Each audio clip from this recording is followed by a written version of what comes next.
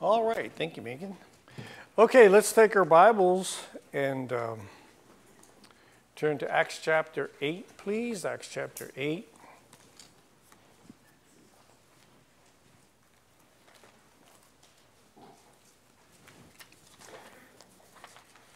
Acts chapter 8. And so before we start, um, just, you know, tonight is we dedicate to thanking the Lord, especially for our salvation. Um, but just thought maybe be good if we just open the open the uh, uh, service with praise and thanksgiving uh, tonight. Uh, you know, uh, something I shared with you a little while back was Psalm chapter. Uh, don't turn there. Psalm chapter 107, verse 22 it's let, it says, Let them sacrifice the sacrifices of thanksgiving and declare his works with rejoicing. So, to give a thanksgiving, sac- thanksgiving is a sacrifice, at least verbally. Uh, you can you can be thankful in a lot of ways. You can, you know, normally we understand. Uh, Thanksgiving, we buy somebody a gift. You know, we express, we want to let them know when we're thankful. Um, but at the very least, for God, I mean, you could certainly give a gift. You could give, you know, you could give, put something extra in missions if you were just thankful and want to do something for God. Uh, but you can also say something. Just, just say why you're thankful in Psalm chapter 116, verse 17, it says, I will offer to thee the sacrifice of thanksgiving and will call upon the name of the Lord. And that's great. And, you know, uh, I'd like for us to just learn to be in that habit of, of just being thankful and ready to be thankful to the Lord privately you know, if you do it a lot privately, it'd be much easier to do it publicly. Uh, but it's something you work at. You know, you have to be thankful on purpose. It doesn't come automatic. Um, so, do we have any offerings tonight? Anybody? Yes, Brother Miller.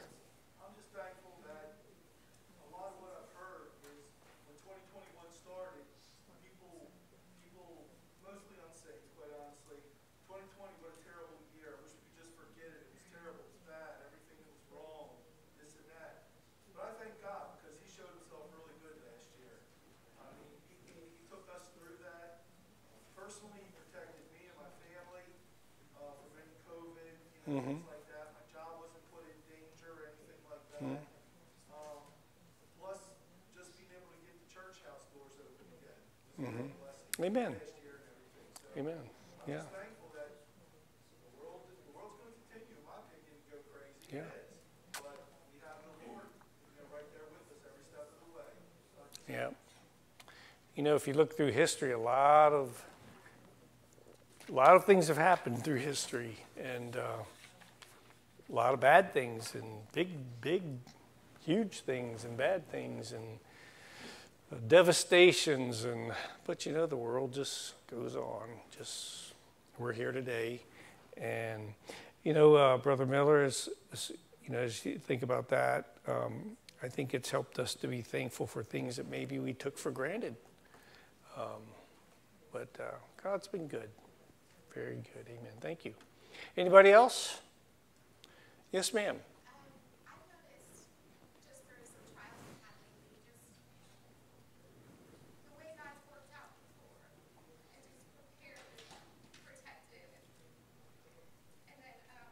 Amen.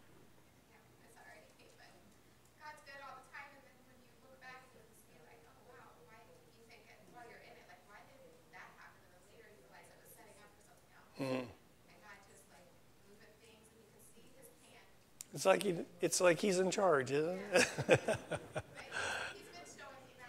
Amen. I mean, it's easy to know it, but to, to trust him while you're going through it. But then to look back and, and just, uh, it's so obvious now. But but then it wasn't. Amen. Amen. Good. Anybody else? All right. Yes. Amen. Amen. Good. Anybody else? Amen. Brother Tim? I'd like to uh, just praise the Lord for what He's doing around here. I've been several souls saved. People getting baptized. Amen. You know, God's still He's stirring people. He's calling people into this place. Even though we haven't gone out a lot, still not being things like that, people are still, God's still drawing in, still bringing souls in. Praise God for that. I mean, amazing things, just amazing. When you hear the stories, maybe we'll hear one tonight, but just how God has just been working and just bringing them in. Amen. Just amen. Yes, ma'am, Miss Katie. Um, well, I just want to praise God.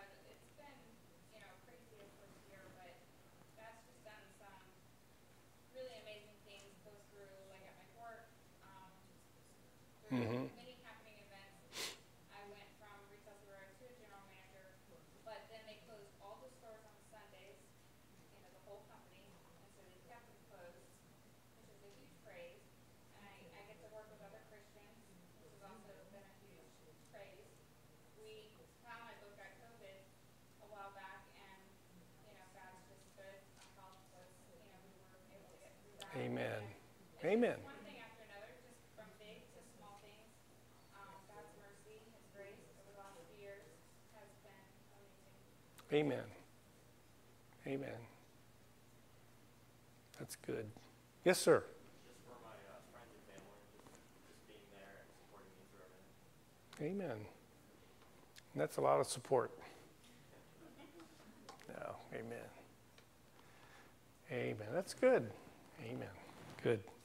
Okay. Um, Acts chapter 8. I'd just like to just, we're just going to read some scriptures and just think about the two, two ordinances uh, that God has given us. And one is baptism, and the other is uh, the Lord's Supper, which we will observe tonight. And, um, you know, there's a lot of things we could talk about about them, but, um, you know, just I just really, as a church family, I think most of us understand them and what it's about.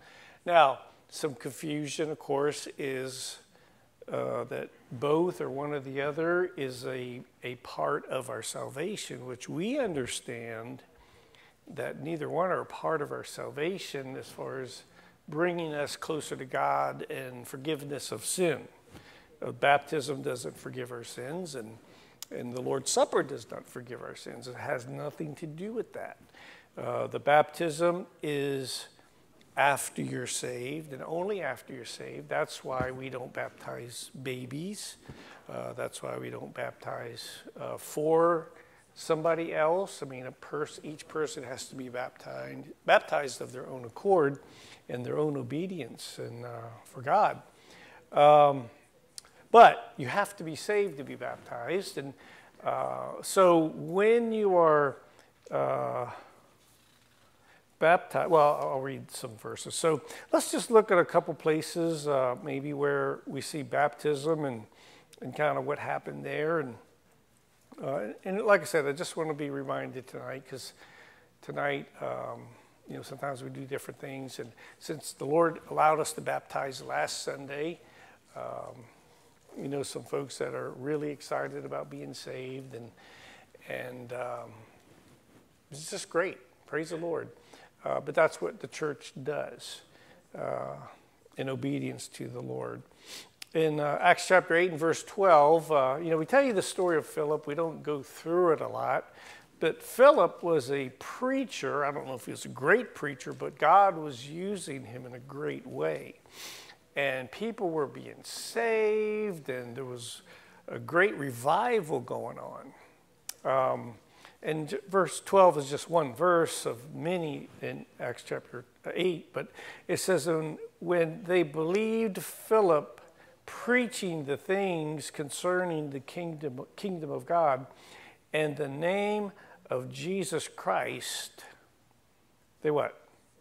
They were baptized, both men and women. So here's Philip preaching, and he's preaching, and there's all kinds of people, and they're getting saved, and they're having a great revival. Well, to me, uh, when you're having great revival, it's like this is the spot. This is where I need to be, and and great revival is going on. Well, and so when we get to verse 26, where we normally pick up, you know, we just kind of picture Philip out there wandering around, and you know, and God taps Philip on the uh, shoulder and says, "Hey, Philip, since you're not doing nothing, I got a job for you." It wasn't like that. Philip was busy. Philip was serving the Lord. Philip was in the Lord's work and being used by God and people. Now, you, you, think about this scores, and, and, and we don't know how many, but lots of people are being saved. And God says to Philip, just the oddest thing, He says, uh, I want you to leave all that and go talk to one guy. Isn't that fantastic? This shows that God says, hey, listen, even though it's happening over here, heart's tender, and, and I'm allowed to work there, man, it's great. But I care about every soul. And if somebody's looking and somebody's open, um, we're on it. And so he has Philip go over and talk to, leave everybody else, lead the revival, and go talk to that one guy. Isn't that great? Like that one day you were that one guy, or you were that one lady. And um, so that's what happens. So when we get to verse 26, it says, And the angel of the Lord spake unto Philip, saying, Okay, time to go. What? I mean, we're just in our third week of revival and it's, it's happening, Lord. Um, time to go. That'd be a hard thing. Wouldn't it? Just, it's hard to know that, okay? Um, arise, go toward the south. And there's another negative. Right, brother? Tim? Go toward the south. And leave the north and go to the south. And like, man, north is where it's at, you know? And uh, unto the way that goeth down from Jerusalem to Gaza, which is desert. And he arose and went, and behold, a man, this, a man of uh, Ethiopia, uh, a eunuch of great authority under Candace, queen of the Ethiopians, who had the charge of all her treasures and had come to Jerusalem for to worship. So he was, I was talking to somebody today, and they said, you know, we've been looking and searching and trying and you know, to, to, to find the truth. And that's what this guy was doing. He, he's already gone, he's finished up his trip, and he's headed back home now. Maybe a little discouraged, maybe a little, he knows he still doesn't have it. And you know when you have it. Um, and he just knew it was, that's why he's still reading his Bible, he's still searching, he's probably reading something they, they gave him or, you know, but here he is reading the scriptures um, while he was uh, uh, returning from Jerusalem. Verse 28, he was returning and sitting in his chariot uh, and read Isaiah the prophet. And the Spirit of the Lord said unto Philip, Go now and join thyself into this chariot. So he runs up to the chariot and, and um, complete stranger, complete stranger it would be sort of like if God told you at a gas station, hey, go talk to the guy at the next pump. And you say, I don't know that guy. Well, sometimes the Lord has you talk to people you don't know. Matter of fact, sometimes they're great prospects. You don't know. And uh, so here's Philip, and so he's he's kind of like it's kind of obvious I mean, they're out in the desert. This guy's in his chariot by himself. Philip is by himself. So you know he saw him running up to the chariot. And this guy, so Philip's thinking, this guy thinks, I'm going to rob him. or this guy thinks I'm going to beg, or this guy, you know, you know how you have all these things of what thing, things in your mind of what the other guy's thinking as you're walking up to him. Have any of y'all ever done that, or is it just me?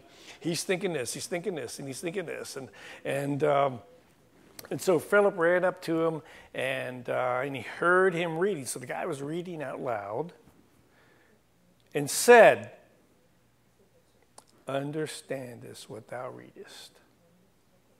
You understand what you're reading in the Bible? And his answer was like all lost people, which is, I don't understand all the these and the thous, and it doesn't make any sense to me. I don't, you know. And he said, verse 31, he said, How can I except some man should guide me? And Philip said, Oh, you didn't think I was going to rob you? You didn't think I was going to try to beg money or beg food or ask for a, ride in your chariot or you know, all those things he was thinking? No. He said, Man, I just wish I had somebody show me what this meant. And he desired Philip that he would come up and sit with him. And so Philip climbs in the chariot and sits with him, and he says, he said, let's, let's, let's, let's open this together. And he opened that scroll. And just so happens that the very place he's reading in the Old Testament, 700 years before Jesus came, was written. Just so happens that this, this guy's reading this very verse. He says, Well, here's where I left off, right here. In the place of the scripture which he read was this. And so he, you think about this. He said, though, here's what I'm reading. I just don't understand it, Mr. Mr. Preacher Philip. He was led as a, sleep, a sheep to the slaughter. And like a, like a lamb dumb before his shearers, he, so he opened not his mouth. Now, when he read that verse, what do you think Philip is thinking? Let's put our place in Philip's shoes. What's Philip thinking right now when he just read that verse? He's thinking, well, our Lord just went before Pilate. Our Lord said to Pilate, he says, Don't you have anything to say? Aren't you going to defend yourself? And, and Jesus opened not his mouth. Jesus could have said a lot, but he wasn't there to defend himself. He was there to become guilty. Now, if Jesus were to defend himself, he could have been defended. But he wasn't there to do that. He was there to become guilty for you and for me, to take our guilt and have our guilt placed upon him. So that was the verse he read. And uh, it says in verse 33 in his humiliation, his judgment was taken away.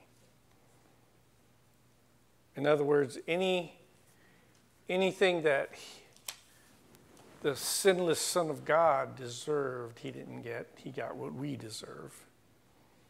Who shall declare his generation? For his life is taken from the earth. Which is what? What's that mean? That's when he hung on the cross and he was crucified. He was murdered by the hands of sinful man, and his life was taken away. Now, man's side, life was taken away, but on his side, life was given. He gave it up. You know, if Jesus wanted to speak a word, remember what happened in the garden Amen.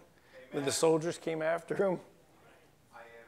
He said, I am he. And the whole army fell down backwards. Amen. He could have done that, but he didn't. Yeah, when he spoke his name, they fell down. The whole army. Backwards. I mean, just blew them down. So when, when, when, when Pilate said, Don't you have anything to say? He says, You don't want me to do that. I got lots to say, but I'm not here for me. I'm here for you. He's here for the very one that was there and yelling at him. He was, he was there for the very, every stripe that the soldiers hit him with. And every, every piece of flesh that was torn away, it was torn away for the very one that was tearing it away. You get that? And that's us. Uh, that was our sin doing that to him.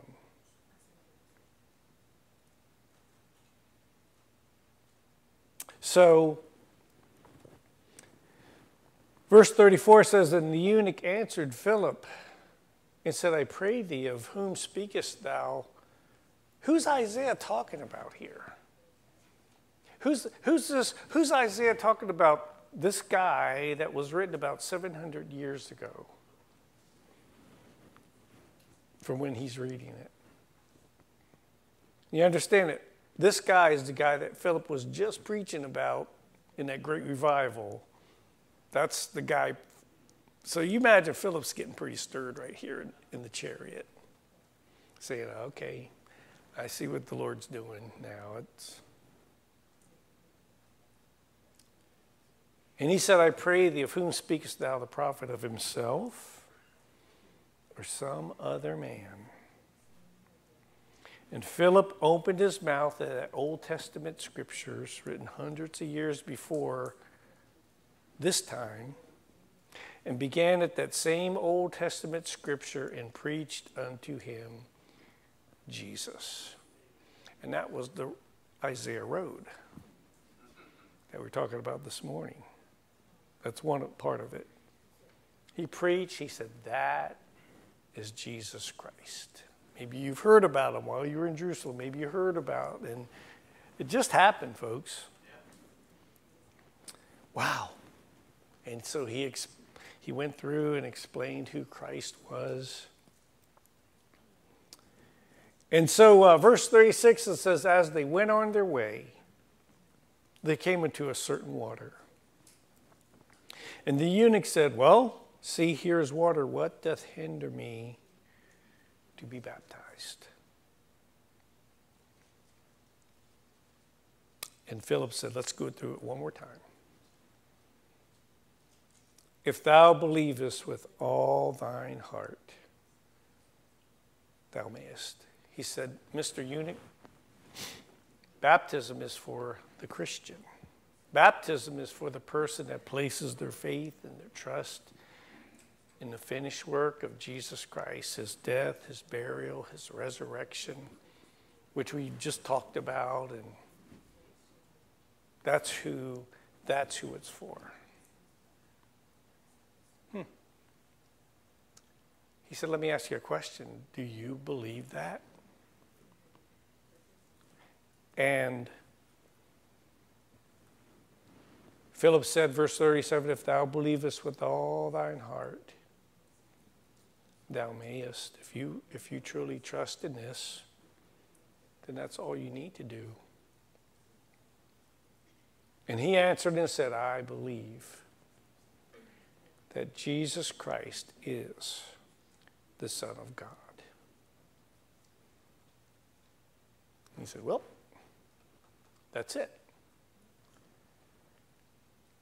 And he commanded the chariot to stand still. And they went down both into the water, both Philip and the eunuch, and he baptized him. And when they were come up, come up out of the water, the Spirit of the Lord called away Philip, and the eunuch saw him no more, and he went on his way rejoicing. You know, I've seen a lot of nervous people get in the water, real nervous. I've seen people trembling and shaking. I've seen people put it off for years. They're so scared.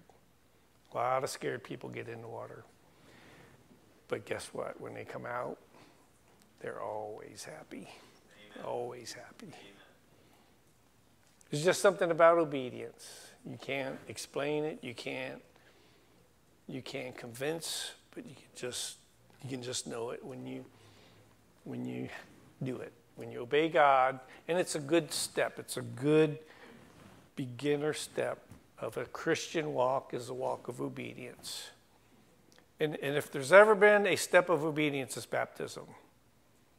Why do I gotta take my clothes off in front of everybody? Well, it's not exactly that. Okay? Why do I gotta put that stupid blue thing on? Well, why, why do I have to get all the way in the water? Why, why, why? You know, just just because it says so. And it's just something about it.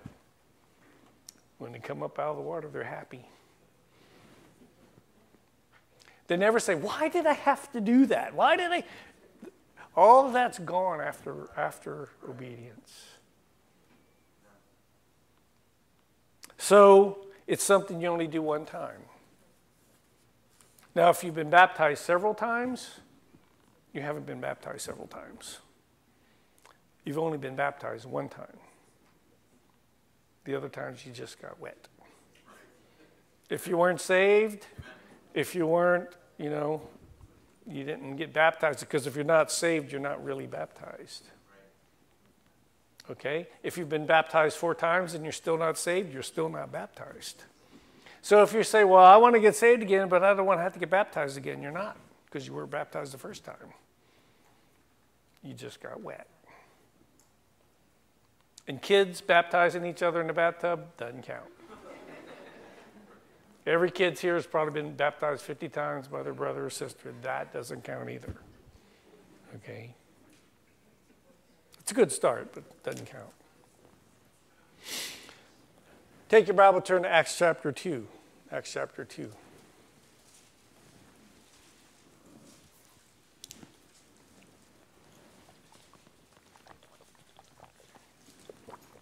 With uh, Tim and Candace. You know that couple were sitting here, Bobby, Bobby was saying that. I think it's true.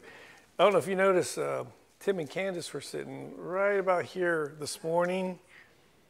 And you prob, I mean, uh, um, not Tim and Candace, um, John and Sean and Stephanie were sitting there, but they looked like Tim and Candace.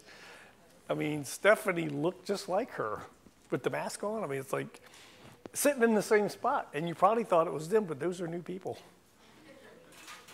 But that's Salvation Row right there. I just want you to know that's that's a good row. All right.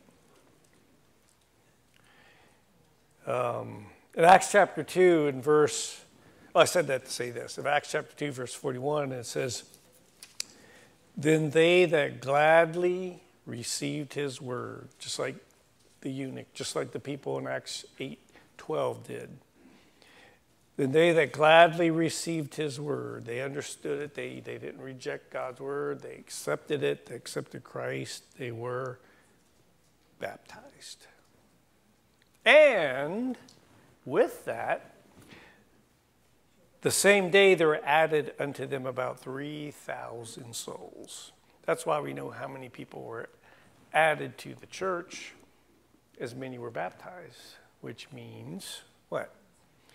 When you get baptized, you become a church member. So I said to Tim and Candace, I, I said all that say this. I said um, last week, I said, Wednesday, I said, Do you know you're members of our church now? When you got baptized, you became members of the church. Because I've had people ask me, we probably should explain a little bit better. I didn't know when I got baptized, but uh, when you get baptized, you become a member of the church. That's the requirement. Um, we don't have special classes to become members. We don't have we don't have, you know, to become a member of Patuxent Baptist Church, um, you need to be saved and baptized. Now, people have asked me, well, shouldn't there be a little bit more to it? Because what if this guy gets saved and he's, he's a sinner and he's still a sinner? It's like, well, that's just kind of how we get them. We just get them right off the street, man, just sinners. And and they said, well, shouldn't we clean them up before we make them a church member? Well, if I made them a church member, I might do that, but I don't make them church members. The Bible says, you know, the Bible doesn't say have class. I'm not against it if, if you want to have classes and like, okay, we need to help these people understand what they're getting into, and that's fine. If that's what the Lord leads a church to do, but in the Bible, they never did that. Amen. They got saved, they stopped the chariot, they went in the water. Amen. They got they were at Jerusalem preaching, and this really wasn't even the day of Pentecost wasn't planned to be a revival. Those guys just stood up and started preaching. Amen. And people heard the gospel in their own language. And people were just getting saved everywhere. And then the church of Jerusalem just started baptizing right there. And so I kind of feel like that's what we ought to do. Just,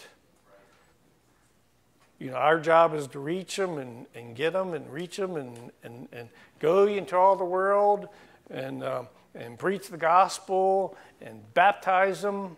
Then it says, what? Teaching them. Now, if you want to teach them, then baptize them. I mean, that's I'm not I'm not I'm not your enemy. You can do what you want to do. But when I say you, I don't mean you.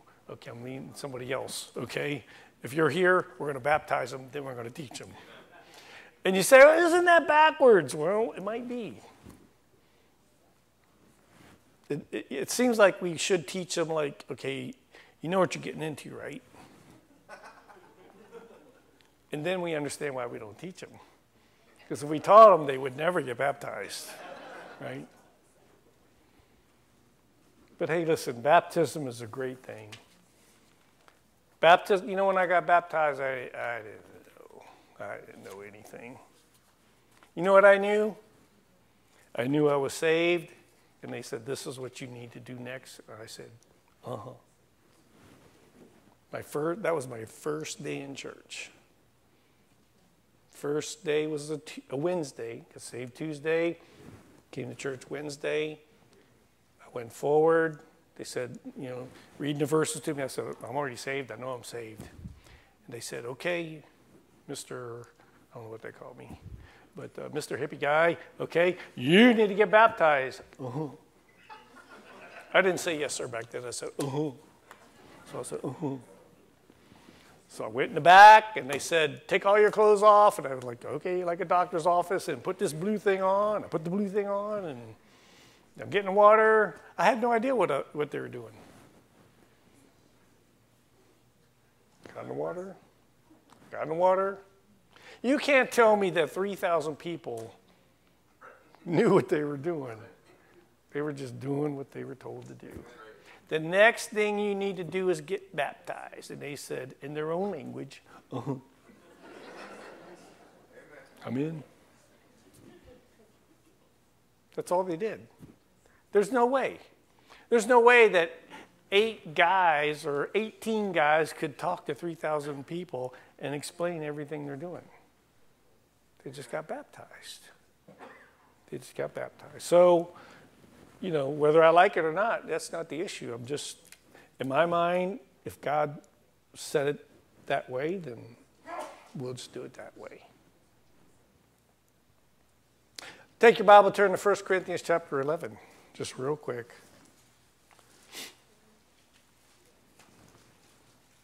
The Lord's Supper, now, that is required. You cannot be a church member without baptism. You can come here. We actually have a friends list.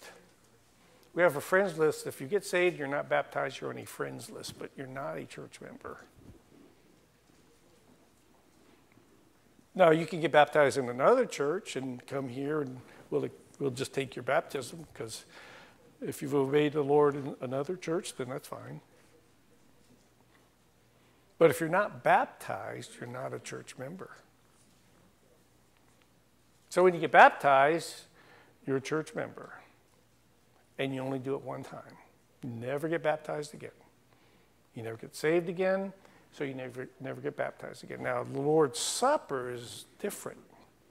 This is for church members who are in this is a this is a picture of your fellowship with God, which is ongoing. This never ends. This this goes forever until until we go with the Lord, and um, and um, and Jesus said, you know, I'm not going to eat with you anymore until I until I come back. Is it cold in here? Is, turn, is air on? It's air? Okay, turn the air off. Right, guys? You love me again? Okay. Uh, turn the air off. Let's turn the air off. You like that? No air conditioning when it's snowing. Okay? Lord's Supper is ongoing.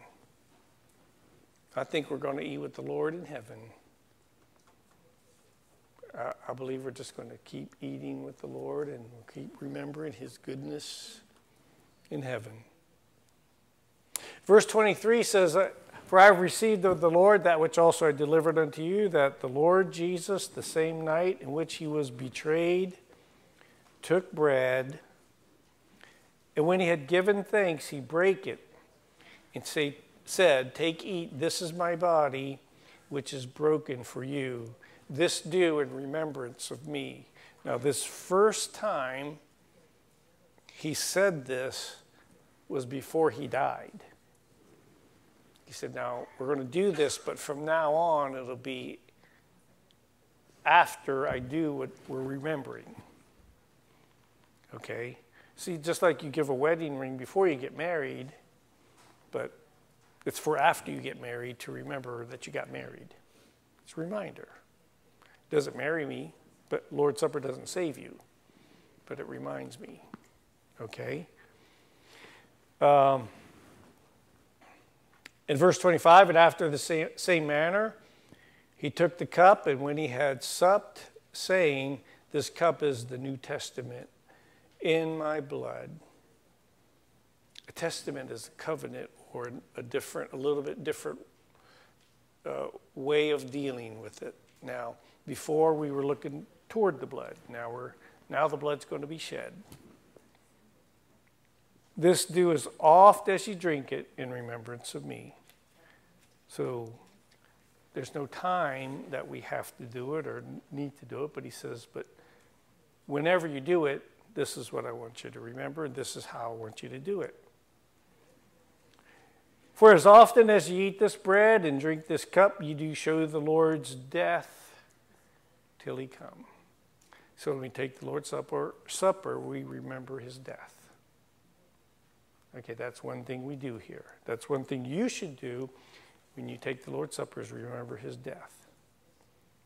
Wherefore, whosoever shall eat this bread and drink this cup of the Lord unworthily shall be guilty of the body and blood of the Lord. And so that's basically saying you, you know he died for you. You know he loves you. You know he shed his blood. He suffered for you. And so for you to just continue in sin is saying, I don't care. I know you did, but I'm going to keep sin in my life, even though you paid for it, okay? Um, so, so the Bible says in verse 28 but let a man examine himself. So let him eat of that bread and drink that cup. And so here's the thing it's wrong if you don't do it. If you say, well, I'm not going to take the Lord's Supper because, because I'm in sin. Well, that's not right. Because the Lord told us to take the Lord's Supper. Right? So if he tells us, he said, when, when you eat, this is what you do. Well, we're eating tonight. So this is what you do. So if you want to hang on to your sin, then you are sinning.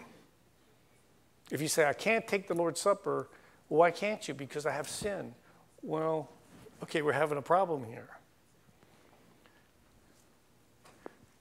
So, uh, so let a man examine himself, and so let him eat of that bread and drink that cup. That's why we want to just make sure things are right. Okay? Uh, for this cause, I'm sorry, uh, verse 29 For he that eateth and drinketh, un, drinketh unworthily eateth and drinketh damnation to himself. It doesn't mean you're going to go to hell, okay? The, the thought there is judgment, okay? Um, not discerning the Lord's body. For this cause many are weak. He's talking about church members. Weak and sickly among you, and many sleep. So in the church of Corinth, people were sick and dying and died because they disregarded the Lord's Supper. So it's not something we take lightly. Okay? Um, I can't say I know anybody that died because they did that. I don't know. That I don't know. Maybe it's happened, maybe it hasn't. Maybe I don't know if anybody here that's ever got sick because they disregarded the Lord's Supper. But I don't know. But don't do this, you know, when we we uh, uh, take the Lord's Supper and you say, "Oh, brother so and so shouldn't be taking it," and and then he's sick. You don't know why he's sick, right? Don't don't do that. The Bible doesn't say, let a man examine everybody else. Who's taking it? Who shouldn't be taking it? It doesn't say that. It says, examine your own heart. And that's the only one you need to worry about, unless it's your kids. You can smack it out of their hand. That's okay. If they shouldn't be, okay? But anyway. Um, for this cause, many are weak and sickly among you, and many sleep, or for Christians, that's they died.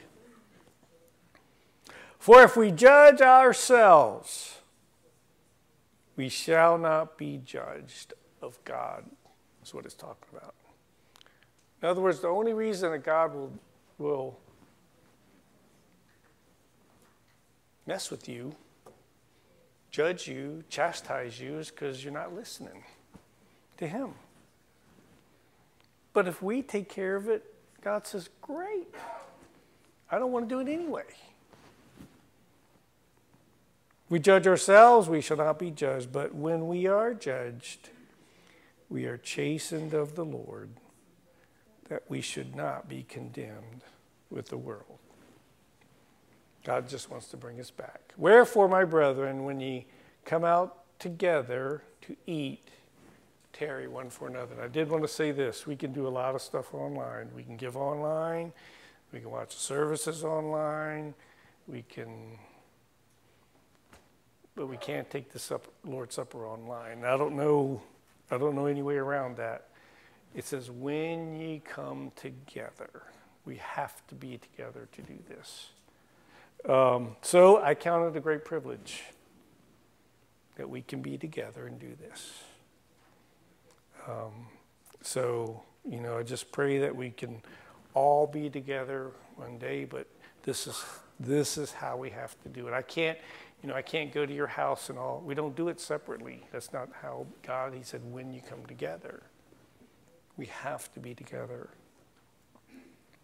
Tarry one for another. In other words, we do it together, together, at the same time. If any man hunger, uh, let him eat at home, that ye come not together unto condemnation you know, I didn't read these parts, but they were abuse, actually abusing the Lord's Supper. And they were making it a big party, and it's not a big party. It's a sober time, a sobering time. So uh, why don't you just uh, prepare your hearts? Uh, let's have the trustees come. And uh, Brother Lewis. Um, just let's all come and just prepare your heart.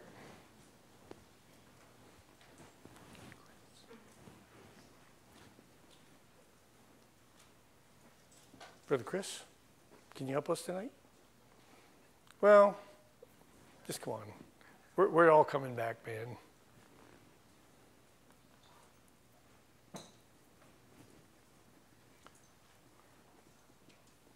So, um,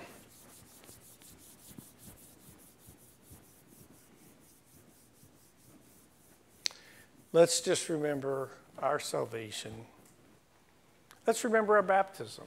I mean, that's when it all started. I mean, for us to be part of the church, to get in, and then, then, so you know, baptism reminds us of the of the beginning, our salvation. Praise God, and it happened. We're in part of the church.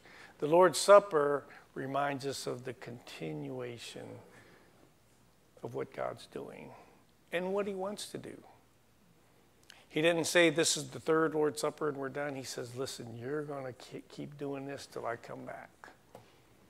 So, in other words, as long as you're here, you take the Lord's Supper. And when you take it today, you look forward to the next one because God's never changed. Amen. So let's uh, let's just thank the Lord where we are, and uh, we'll prepare to pass out the elements.